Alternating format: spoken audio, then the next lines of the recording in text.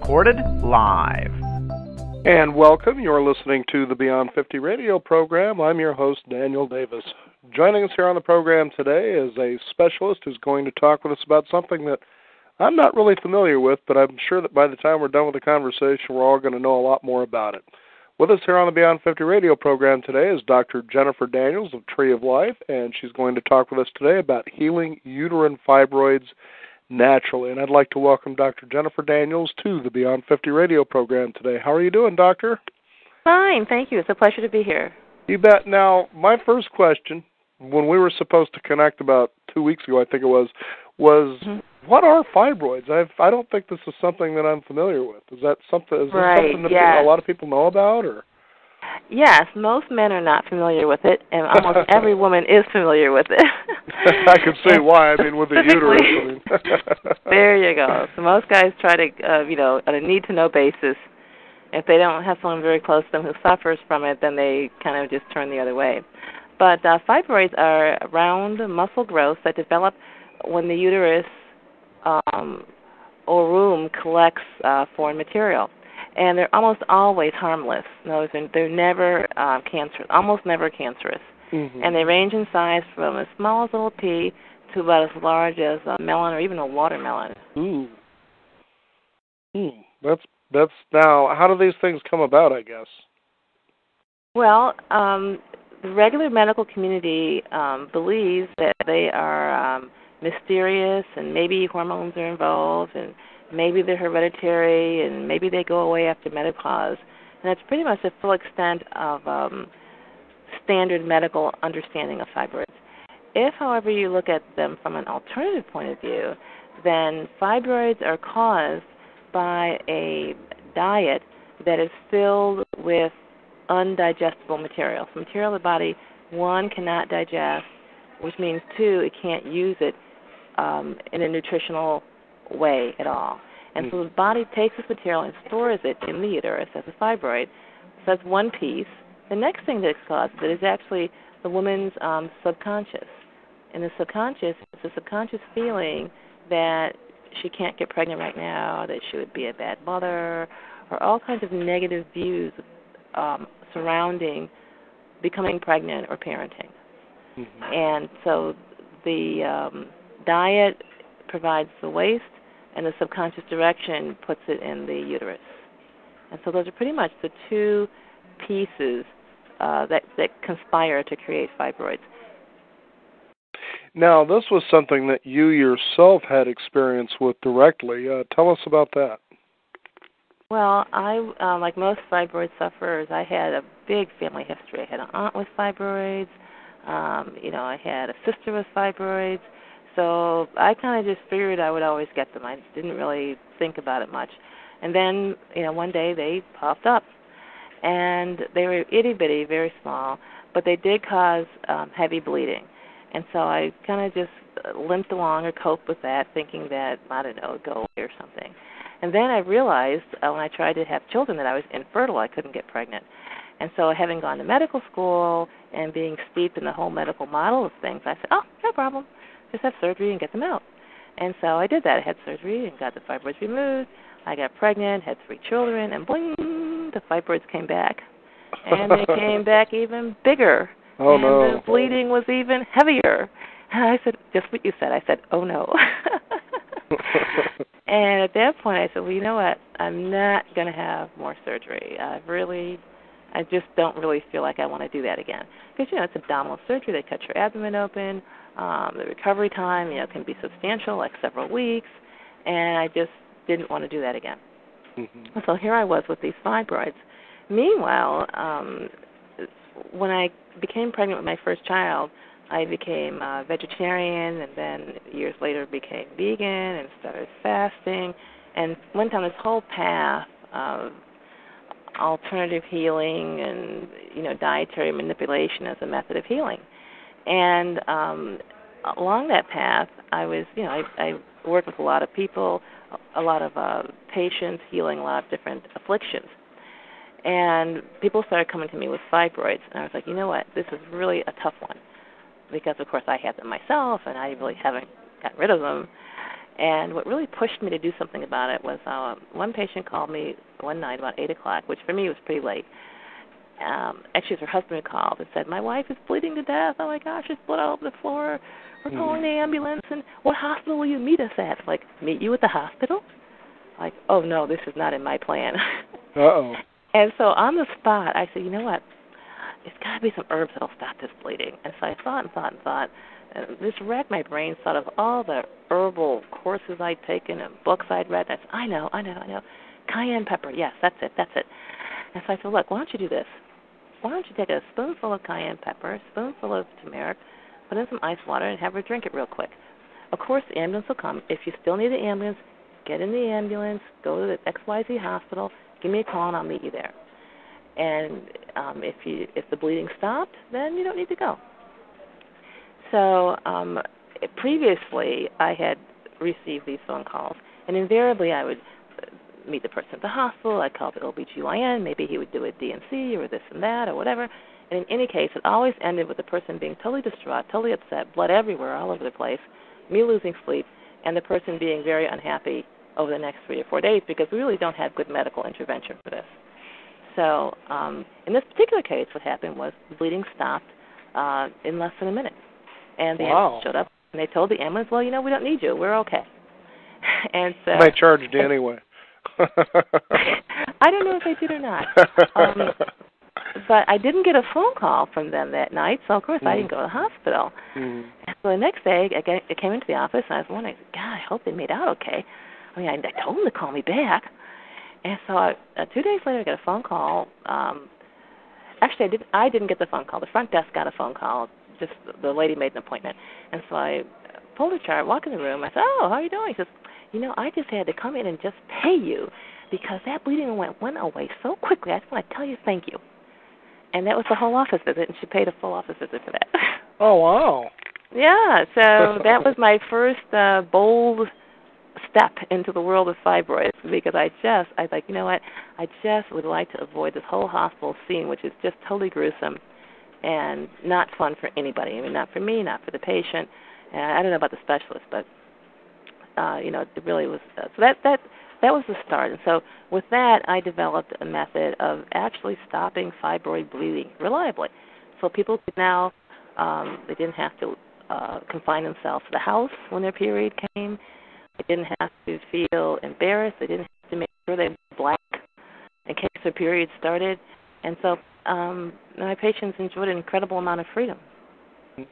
Now it says here that um, that you have about a 95% success rate of shrinking fibroids, uh, and and you do it through a natural process. Now, I Right. think what I heard you say earlier in the show was that um, people, when they go to hospitals, the recommended procedure is to have them surgically removed. Is that what I heard? from you? Now there's this, you know, technology has really progressed. There's all Okay. kinds of interventions. Now you can have uh, uterine artery embolization, where they put um, foreign uh, material into your uterine artery to block it, so the blood can't circulate to it, and that's you know to shrink fibroids. Um, they can do um, laparoscopic thing where they put something in through um, incisions, small incisions in your abdomen, and and suck out the um, the fibroids. There's all kinds. They can give you um, a Lupron, a um, very strong injection that shuts down your whole reproductive hormone axis and, and um, hopefully shrinks fibroids. There's all kinds of interventions, but they all have tr- tremendous side effects. And so there still isn't a good solution for a woman who just wants to get rid of. And most women don't even want to get rid of their fibroids. They want to get rid of the bleeding. They want to get rid of the infertility. Um, some women they actually have the appearance of being pregnant. They want to get rid of the pregnancy, that that pregnant look when they're not pregnant. hmm So these are the things that people want to want to um, get rid of. And so the modern methods of managing fibroids are very poor in terms of handling those things. Oh, okay. Now, is this something? How how many people or women does this actually affect on a on a regular basis? Uh, Fifty percent of American women over the age of forty uh, Wow. have fibroids. They say range between twenty to fifty, but uh, you know, pretty close to fifty percent. So it's, it's a pretty big problem. Now, because uh, you're you're involved with the Tree of Life Rejuvenation Center, the uh, you really try to approach uh, healing in a very natural way. Now, when you take a look at something like fibroids, yeah. and when you talked about your story earlier, you said it ran in the family, so you kind of figured you were going to have it, and so you can see how your subconscious kind of plays into this. Does it when it comes to something like this? Absolutely, and that wasn't the the even the strongest factor. In retrospect, I mean, now that I you know got a grip on the whole problem, I'm like, oh my gosh, it's a wonder I didn't get a fibroid at the age of 12. I had the attitude that if I got pregnant, it was going to be the end of the world. If I got pregnant, oh my gosh, I, I would just just drop dead on the spot. I had an incredible, overwhelming fear of pregnancy. So here I was. I um, was in my 20s was going to medical school. I was so close to graduating and being a doctor. I just couldn't get pregnant. No way, no way, no way.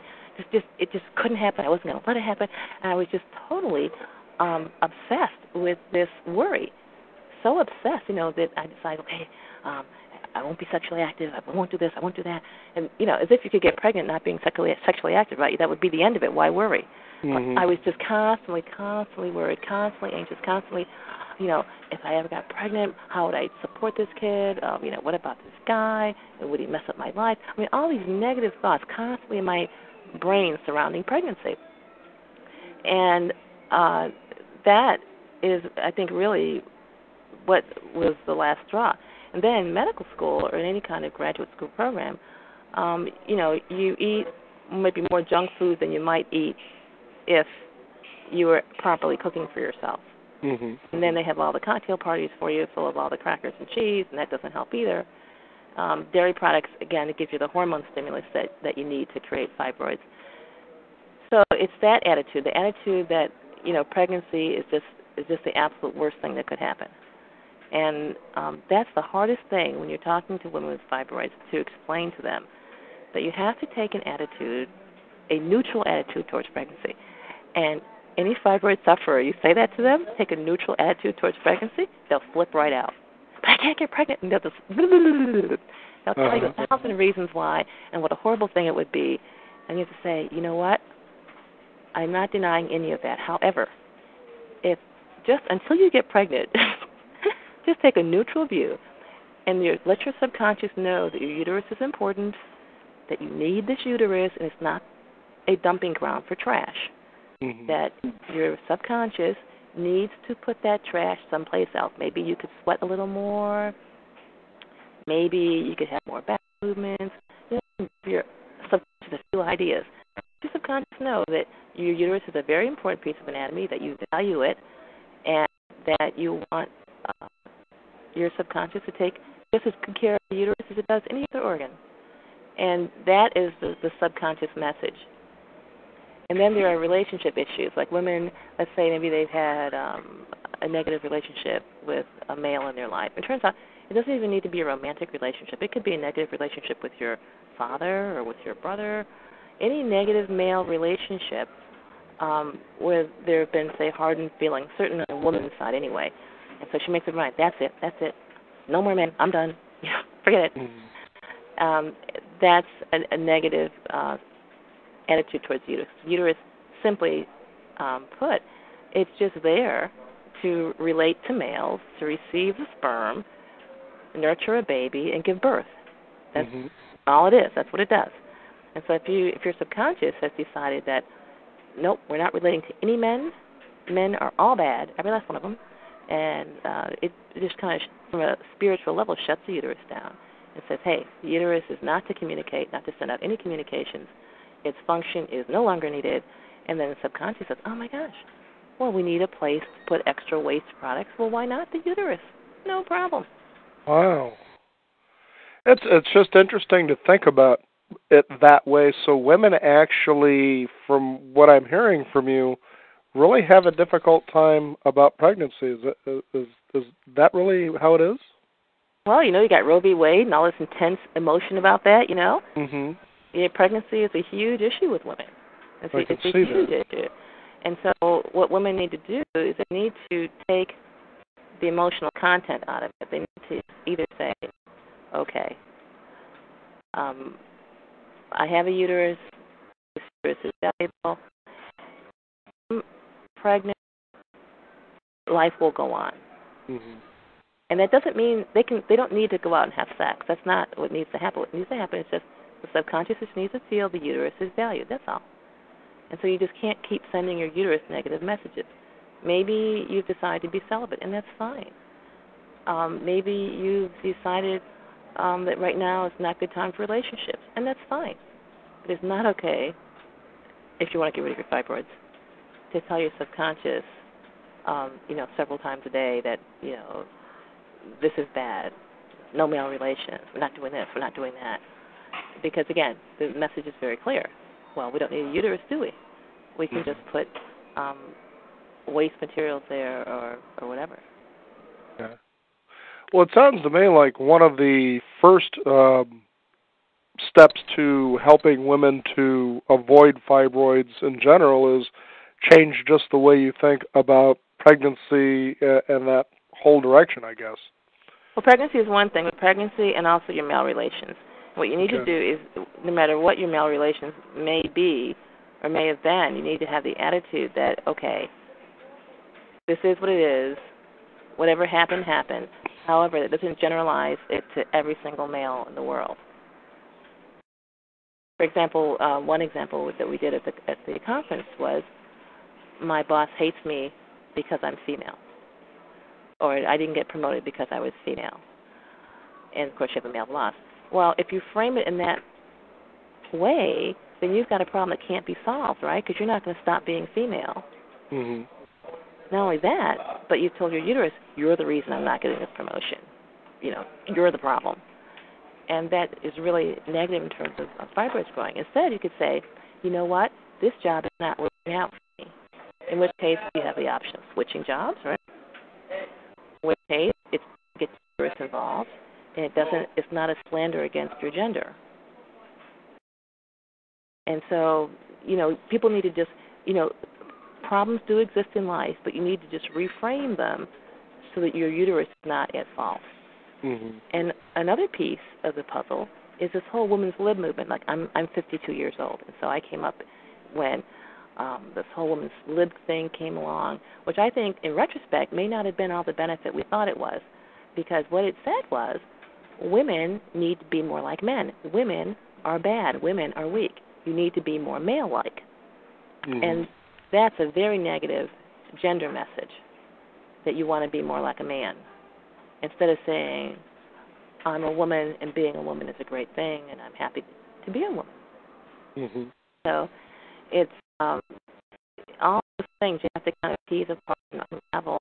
And, you know, the seminar at the Tree of Life we actually go through like 20 different um, uterus issues or, or subconscious issues or messages you can be sending to your uterus that make fibroids grow. And it's amazing the women in the room like, oh my gosh, oh that's my issue, oh that's my issue, oh my gosh, that's it, that's the reason. And people have really um, you know, big aha moments, and and all of a sudden they really really understand. And once you get a grip on that, um, it makes that uterus that that fibroid shrink so much more quickly. Now, tell us about some of the women that you've been able to work with and what stage or situation they were in, and then how you worked with them to where it reversed this and helped to change their lives.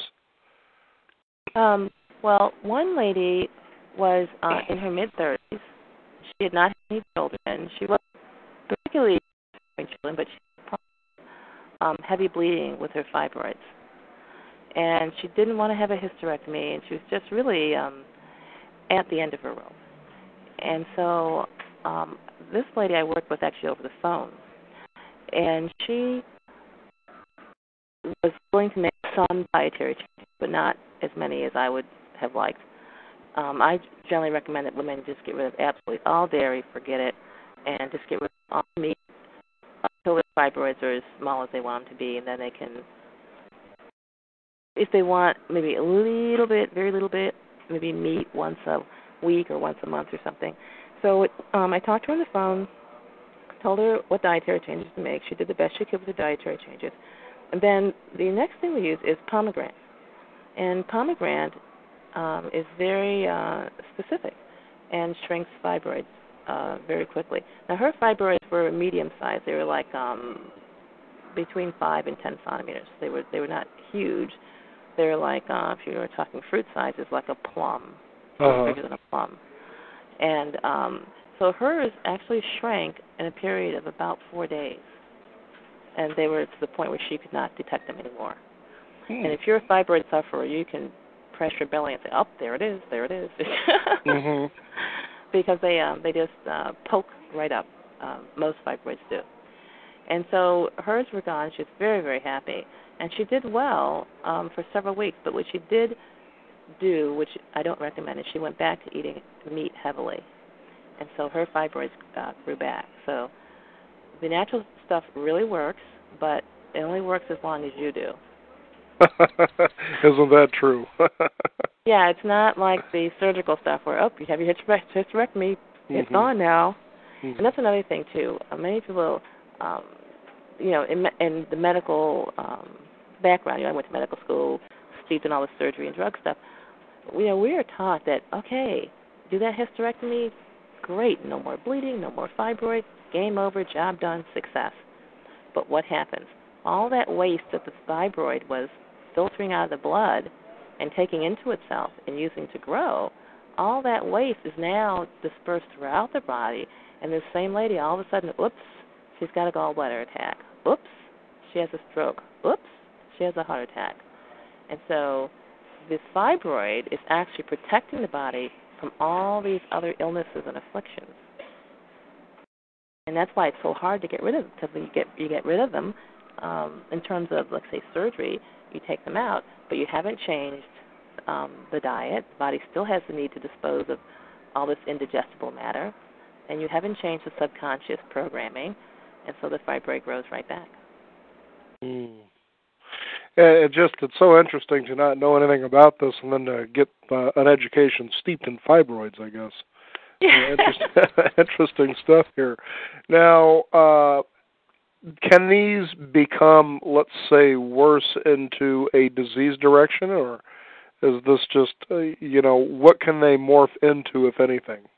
What they morph into is a major bloodletting operation. Mm-hmm. The amount of blood loss can be so massive that the uh, person needs a transfusion, Wow. um, and it can even be life threatening from the blood loss point of view. So that's one way that it can morph into a, a more serious matter. Um, the other way is the um, fibroid can become so large that it actually impinges on nearby organs, um, chief of which is the bladder, so it can actually interfere with the lady's ability to urinate. Um, it can also um, impinge on the rectum or the colon, literally crushing the colon so that the lady can't um, normally evacuate her bowels. So those are those are the um, those are the biggies. And then of course there's always you know you just you have to wear maternity clothes all the time because you look pregnant. Mm-hmm.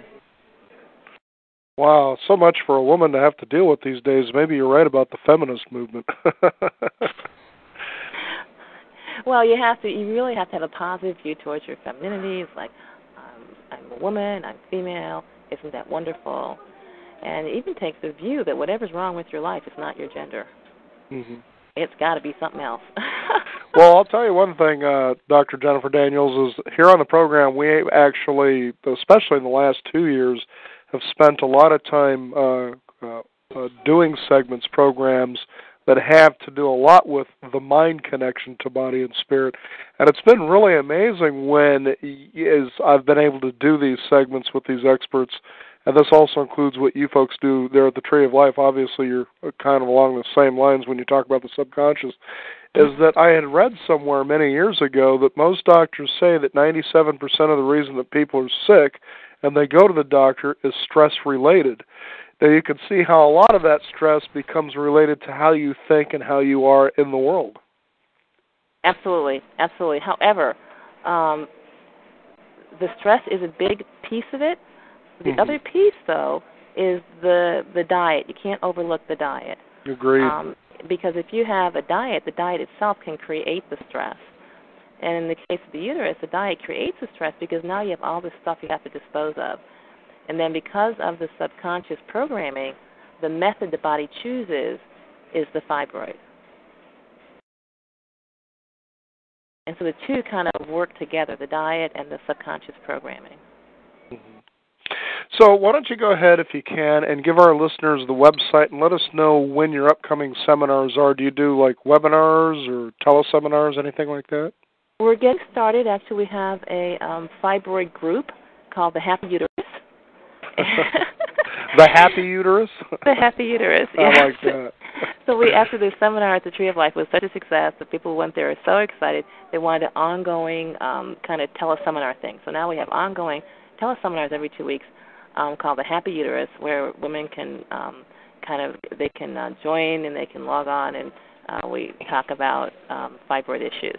And so they can um, reach me at um, vitalitycapsules.com and uh, just contact the contact us section. And they'll send me an email and I'll let them know how to sign up for the group.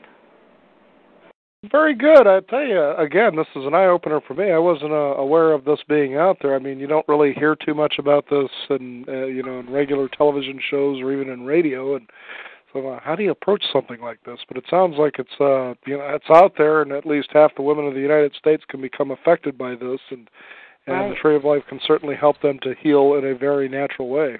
Absolutely. Go ahead and give your website out one more time. It's vitalitycapsules.com. Uh, Vitality Castle? Um, C A P S U L E. Oh, Vitality Capsule. Okay, very good. Vital- yeah. Okay, vitalitycapsule.com. Okay, very good. It's well, Doctor, plural. It's plural with the S on it. Vitality capsules.